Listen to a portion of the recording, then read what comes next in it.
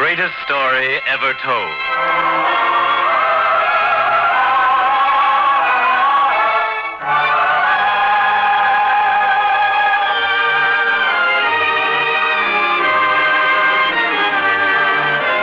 Today, we present The Loaves and the Fishes, a drama based upon an event set forth in the sixth chapter of the Gospel according to St. John, an event from the greatest life ever lived.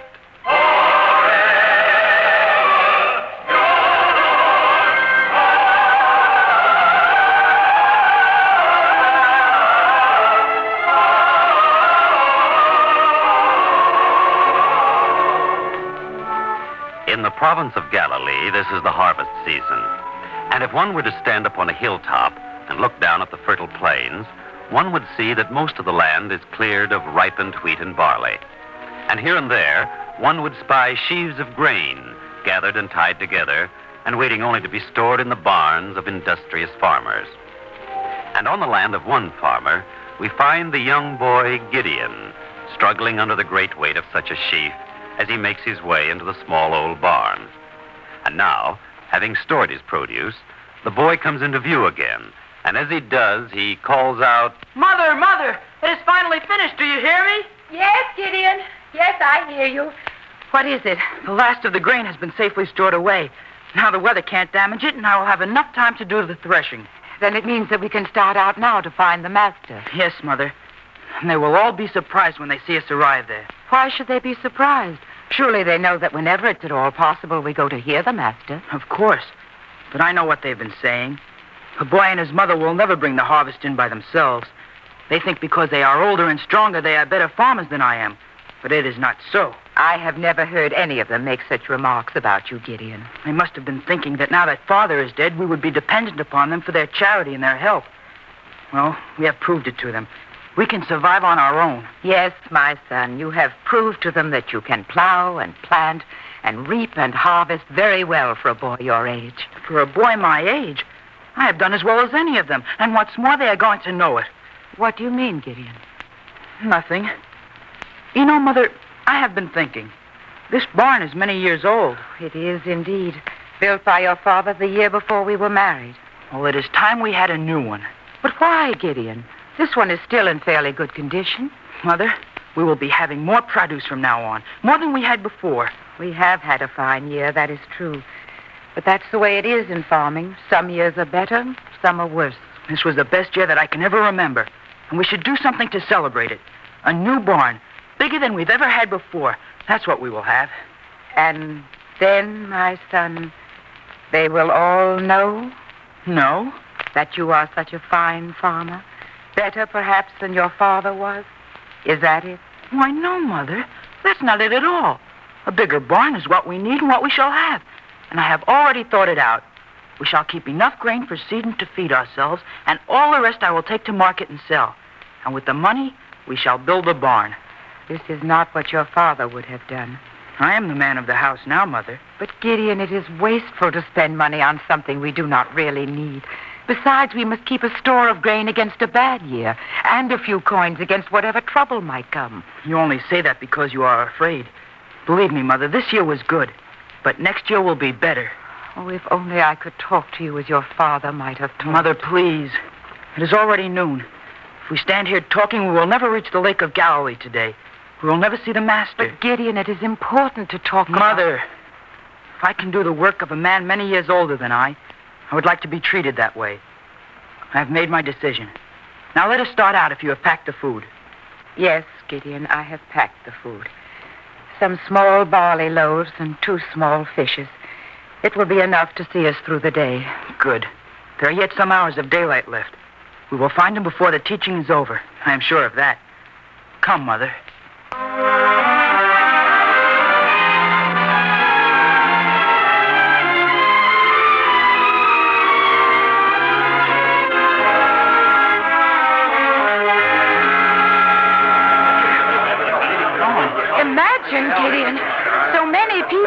gathered here at the shore of the lake. I've grown used to seeing hundreds of people gathered to see him. But this time, it, it seems like thousands, Mother.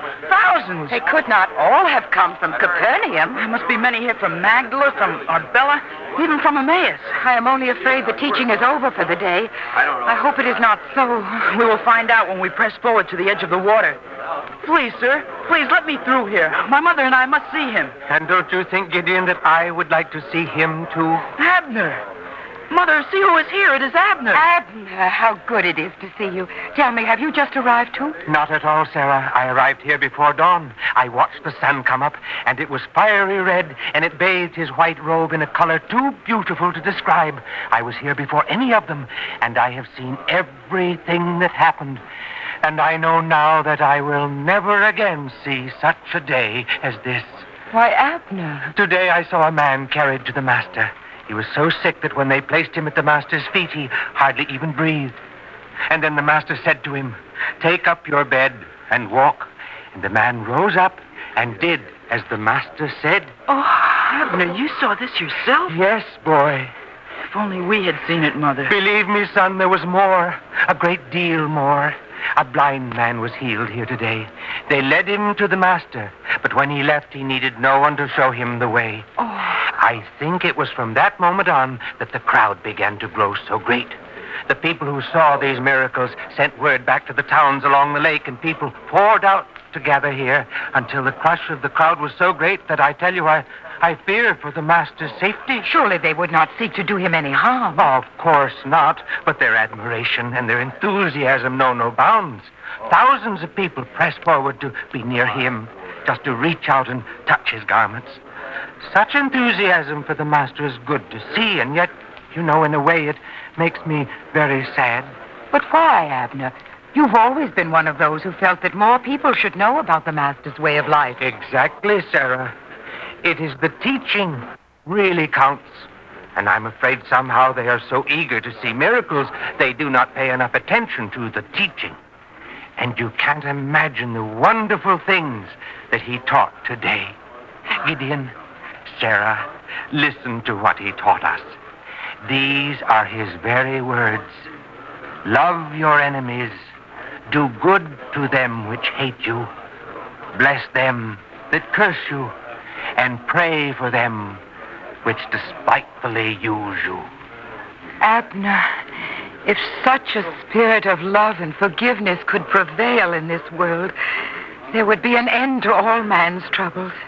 Isn't that so, Gideon? Yes, Mother. Yet, wonderful as that was, Sarah, he said one thing which was even better, that seemed to sum up all his teaching. And if a man were to remember that and nothing else, he would be a true follower of the Master. You say there was one teaching which did all this? These are the words. And as ye would that men should do to you, do ye also to them likewise. Gideon, if only we had been able to hear him say these words himself.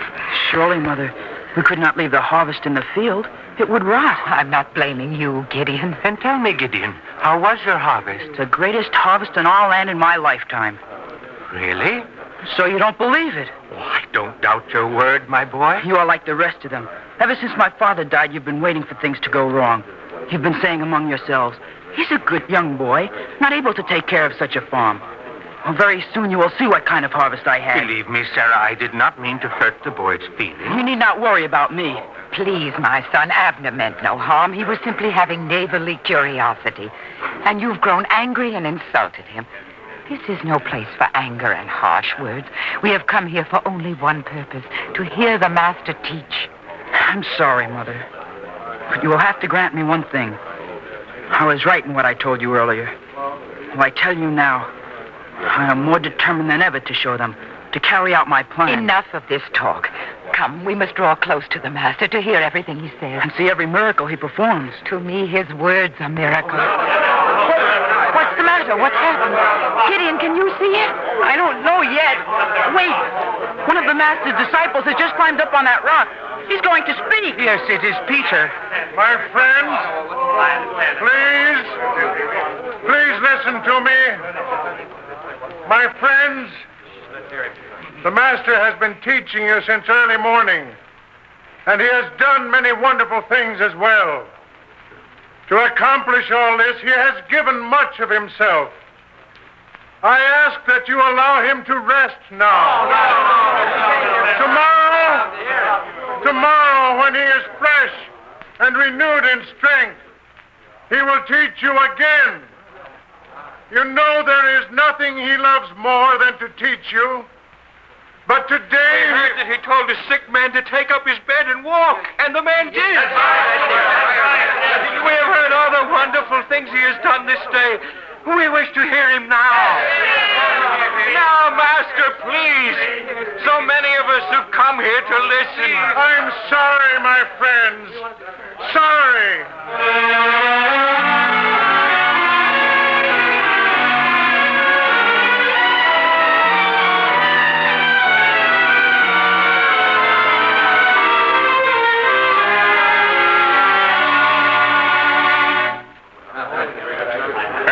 Philip, they will not let him go. There's only one way now. If we could clear a path for him to one of the boats on the shore. Exactly, Andrew.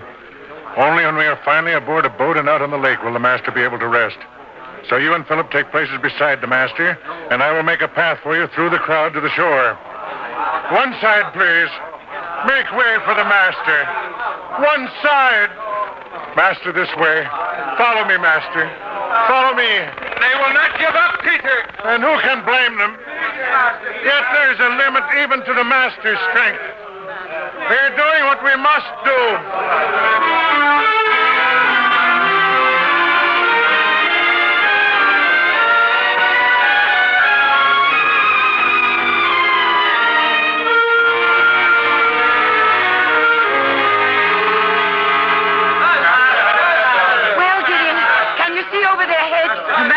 Disciples have made their way to a boat, and they have just cast off from the shore. We are too late, Mother. Perhaps we are. Yet I feel that his disciples have done the right thing. Gideon, did you see his face? The cares of the world were in it. Believe me, one less strong than he could not carry such a burden. Yes, he needed the rest. We came all this way, came so close to him, and now he is gone. Mother, perhaps we'd best go home, too. No, let us rest here. It is a good place for us to have our meal. You still have the basket, Gideon, don't you? Yes, Mother, here it is. I thought in the crush of the crowd you might have lost it. No, Mother. The loaves and the fishes are still in it. And as soon as the master's boat is out of sight, we will rest here and eat. But I do want to watch him as long as I. Oh, Gideon, what is it? Look, Mother. The whole crowd is starting to run. Is there some trouble? Maybe I know, Sarah. Oh, Abner, I didn't know you were still with us. Well, what is it? What do you think? Look, out there. See the master's boat? Notice that it is not headed out across the lake, but goes along the shore. That's right, sir. Oh, with such a slight wind, it cannot go very fast. Exactly. So that's why everyone is running. They're following the boat. They wish to keep the master in sight as long as possible. Then come, Gideon. Come. We may yet hear the master after all.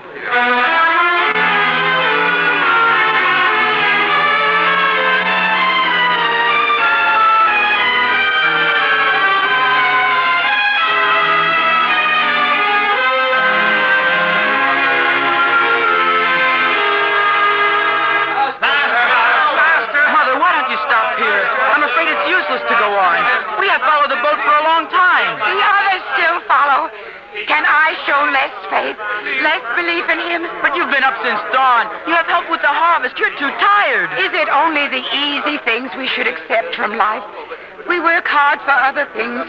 We should strive hardest of all for this most precious thing, the Master's teaching. Mother, I know. I will go on by myself. And if he's going to teach any more, I will listen and tell you everything. I wish to hear it for myself. His voice alone gives me great comfort.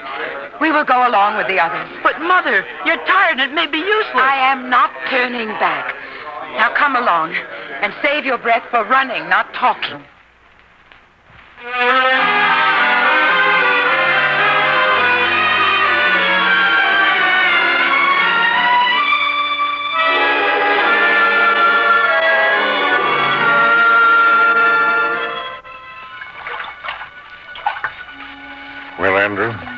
More wind than before. Not enough to carry us across the lake. Do you notice the master keeps a constant eye toward the shore? I almost wish he did not watch them. In the face of such love and devotion, who can refuse them? What do you mean, Peter? We'd better turn in to shore. They'll crowd around him. They'll want to touch him. In their fervor, they may hurt him. You can see for yourself, Andrew. He cannot rest while they wait for him. True. And swing the rudder over and turn the ship about.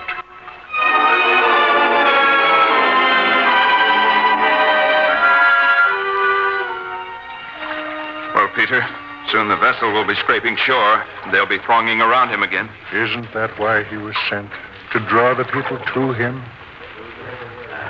I see us coming in. Their first rush as we reach shore will be like a tidal wave rising out of the sea. I'll try to hold them back. But you keep a firm hand on the rudder. I'll do my part. We should be scraping the sand any moment. I'll tell the master. Master? Master? Peter! Peter! This way, master. This way. Uh, friends, please, please. Allow the master to step on shore. He'll teach you. Only give him the chance, please. This way, master. Let me help.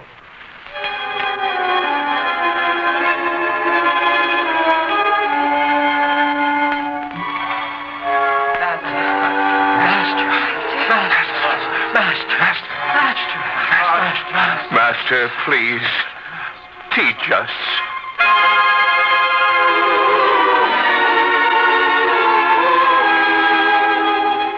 Lay not up for yourselves treasures upon earth, where moth and rust doth corrupt, and where thieves break through and steal.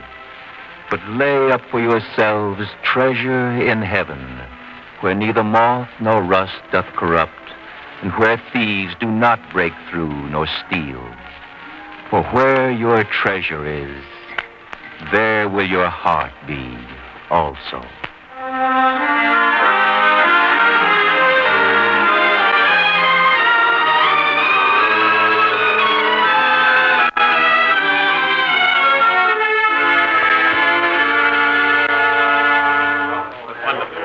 Mother, he said many wonderful things. Aren't you glad now we stayed with the crowd? Of course.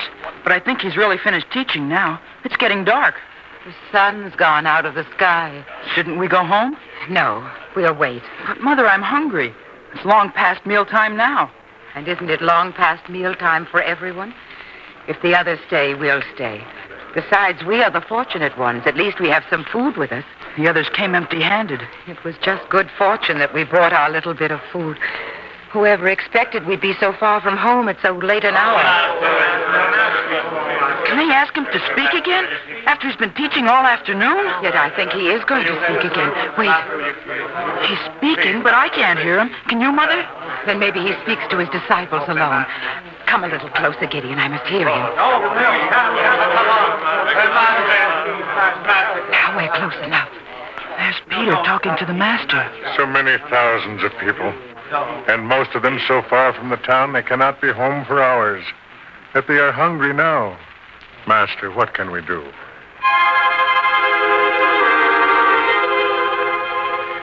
Whence shall we buy bread that these may eat? Bread, Master? For so many?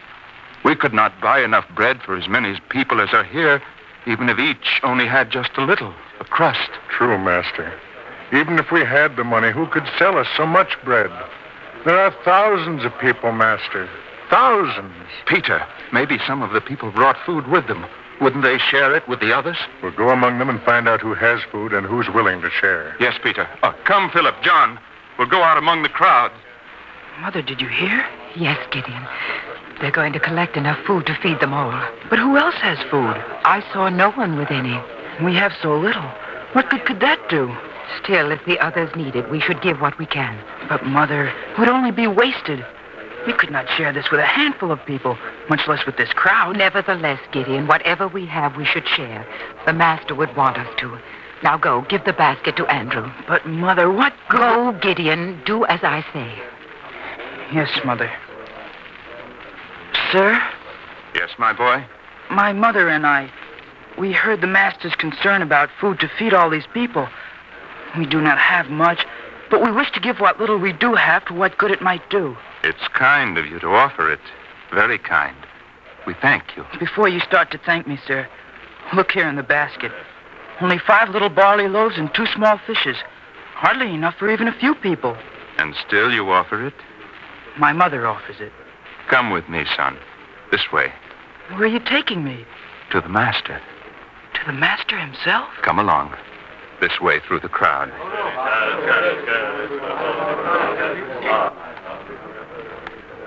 Here, my boy. The master. I've never been so near to him before. You're closer to him than you think. For having given to help others is the best way to be close to him. But now I will report your kind offer. Master, Please, sir. Should you trouble him with so little? be still, boy. Master, there's a lad here who has five barley loaves and two small fishes. Master, no. It's so little. Not enough to take notice of. Allow the master to decide if this is so little. He's looking at the loaves and fishes now. He said nothing. He is disappointed. I told you. Wait, boy. Wait.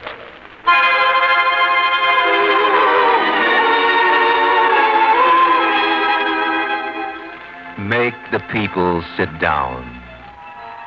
Yes, master. Uh, everyone, please. It's the master's request. Find places. Sit down. And now, master, what shall I do? He's reaching into the basket. Of course. I should have known, master. The loaves. You wish to bless them. Here, master. I'll spread the loaves out before you. Here. Five of them. They're blessed now. But now that he's blessed the bread, who's to eat it?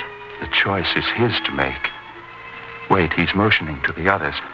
Peter, Philip, John. Yes, Andrew? May I help, Andrew? The master wishes us to help distribute this bread and these fish among all the people. So little for so many? It's as he wishes, Peter. Of course, Andrew. Master, my share to distribute. But, Master, you've given me all the loaves.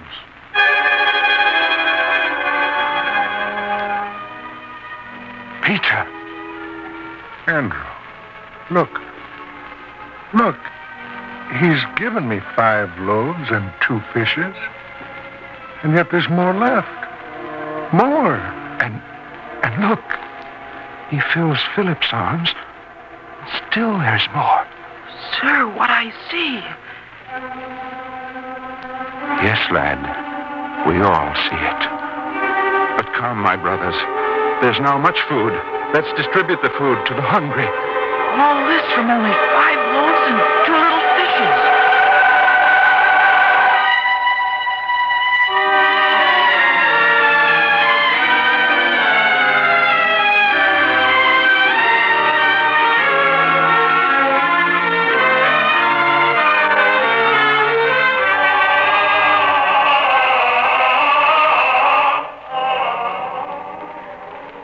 And we were here, my son. We saw it. How privileged we are. Yes, Mother. As close to the Master as I am to you right now. And everyone, all the thousands, had enough to eat from our little basket. We've seen a great miracle this day. Look at them now around the campfires, singing and happy. Where only a little while ago they were hungry. They've all had enough to eat. More than enough. Even we have some left over from our share. And I was ashamed to approach Andrew with the little we had to offer. If you had not insisted, Mother, I wouldn't have done it. You see, Gideon, your mother is right sometimes. Of course, Mother. Then, Gideon, remember what I said this morning. Please, Mother. I have made up my mind about that. Gideon, it shows no weakness to change your mind. It would be better to be frugal, to store up grain for next year, instead of selling it all to accomplish a vain purpose. It may be vain to you, but it is very important to me, and there is nothing for you to worry about. Isn't there? I told you. Next year will be even better for us. I have plans. How can you be sure? Because in some way these things happen. If you put your mind to it, if you work at it, there's always enough somehow. Why, the Master proved that to us. You saw it. Thousands of people, all hungry, all with nothing to eat. Only we. We had five loaves and two little fishes. And yet the Master made it enough for all of us. Something always happens, Mother. So why should we save and scrimp? Please, Gideon, I'm only advising you for your own good. I tell you, it was a sign, an omen from the Master.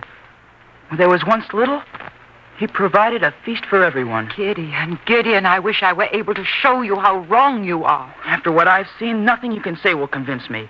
Why, I. Oh, you, sir. Peter. Yes, my boy. Well, have you eaten enough? We have, sir. Then will you be good enough to help us? Help you? But everyone is already fed. Now that they are, we have work to do. First, may I have the food that you have left? Didn't you have enough? Surely everyone else did. Oh, I had my fill, but I'm gathering up what is left. All his disciples are gathering up the fragments now. We've already filled almost 12 baskets just with fragments. You can help. But why? What for? Because it was his word, only a few moments ago.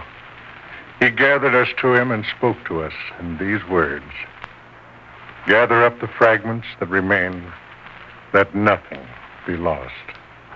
Sir? The Master said that? Yes, my boy. He performed a great miracle. He provided so much food from so little that we couldn't even eat it all. Why should one who can produce such a miracle care about fragments? Because it would be wasteful to do otherwise. Why should he care about waste? He can perform another miracle and produce more. Why should he be concerned about what is left over? Because one should not waste, even amid plenty. So will you help us?